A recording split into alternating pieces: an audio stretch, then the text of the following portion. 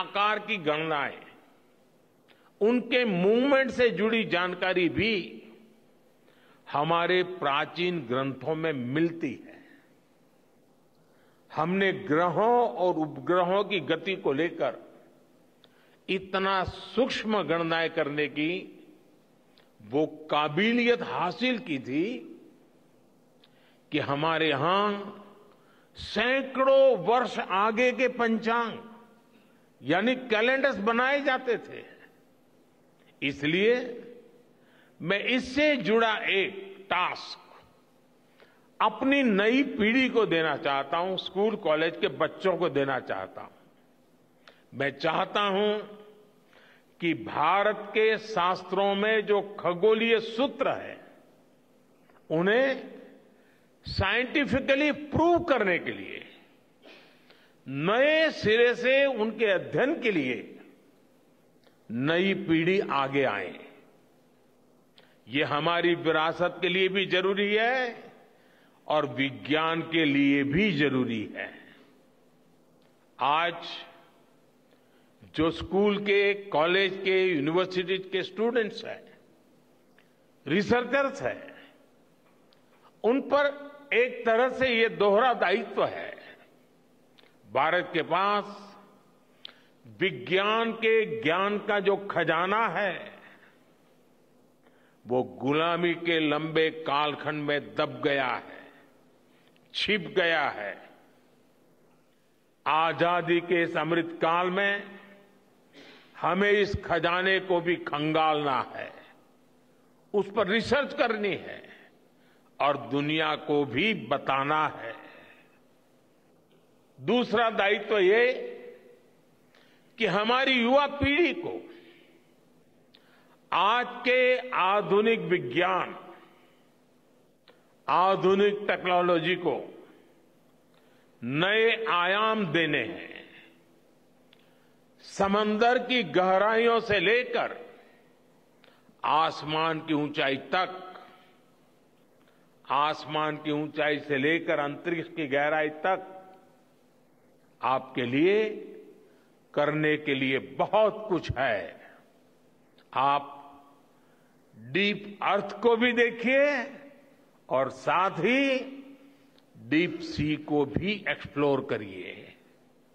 आप next generation computer बनाइए और साथ ही जेनेटिक इंजीनियरिंग में भी अपना सिक्का जमाइए। भारत में आपके लिए नई संभावनाओं के द्वार लगातार खुल रहे हैं।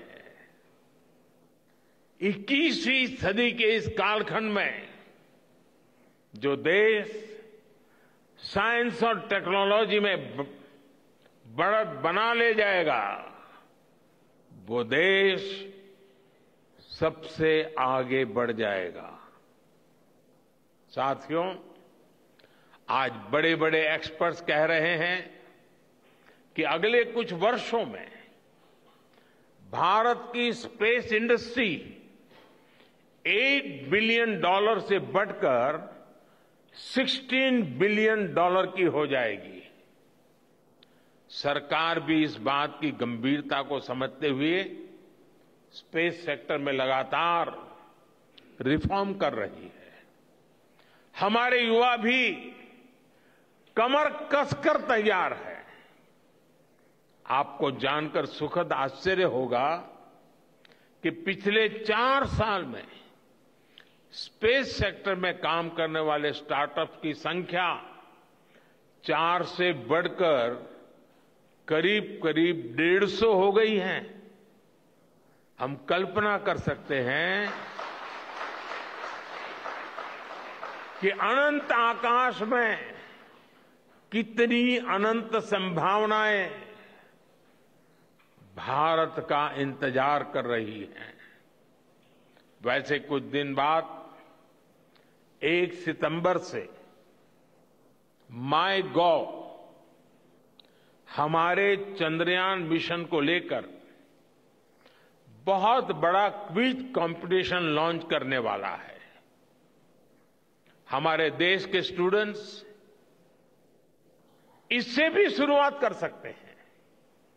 मैं देश भर के स्टूडेंट से आग्रह करूँगा कि आप सभी बड़ी संख्या में इससे जुड़े। मेरे परिवारजनों,